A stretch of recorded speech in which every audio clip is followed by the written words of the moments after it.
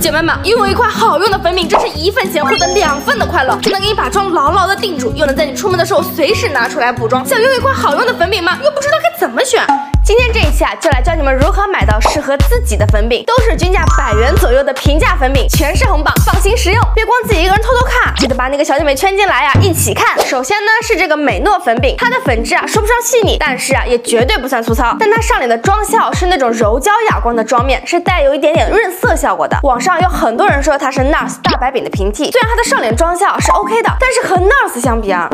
还是差远了。然后啊，是我铁皮了很多块，用一次爱一次，用完直接退出卡粉联盟的 uni 粉饼，粉质细腻，上脸呢是一种高级哑光雾面的妆效，它还自带遮瑕力，所以在定妆的同时呢，可以提升一些面部的平整度。你们看啊，我这个定完妆的效果，本上抹干皮亲测啊，它只吸油不吸水，用下来啊不会卡粉，这是在正常的社交距离下不会觉得你的妆感很重，超级适合带出去约会。油皮的朋友啊，给到我的反馈是会有一些出油，但是妆面还是完整的，拿粉扑。轻轻一补就完事了。下面这一个是最近风超大的 Kiko 粉饼，它的控油持妆能力啊，各方面都是比美诺好的。粉质呢也是非常的细腻，一秒柔焦，可以恰到好处的修饰毛孔。建议呢可以买个植物绒的粉扑搭配使用。虽然啊它是干湿两用的粉饼，但我个人呢比较喜欢干用。只要用对了手法，用对了上妆工具，上脸的妆效就是一个字绝。然后呢就是在包装上做的超好的花西子蜜粉饼，他们家的包装真的是极具中国风。说实话，因为他们家包装。我已经闭眼入了好多产品了，粉质的话呢，毋庸置疑，摸起来是非常的细腻丝滑，它是含有蚕丝粉的，所以妆面啊会看上去很丝滑，显得妆面很干净。最后一款啊，说实话，我刚开始也没有想到它会这么好用，就是它 Into You。我对于它的了解还仅仅限于他们家的口红很好看。刚开始啊，我还不明白为什么一个粉饼要搭配这种气